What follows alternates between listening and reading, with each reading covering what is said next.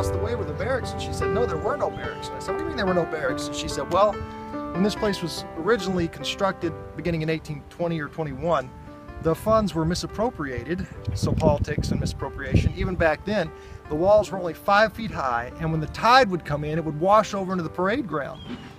So, once they finally got that fixed, I don't know, whatever, in, in 1850s or something, they still never got the barracks. The guys slept outside the fort. If there'd have been a sneak attack or something, been over. they'd have been, uh, yeah. And it was over anyway. That was Right. just one of the last key battles of the Civil War. So this never got finished, even before its final battle, battle in the Civil War.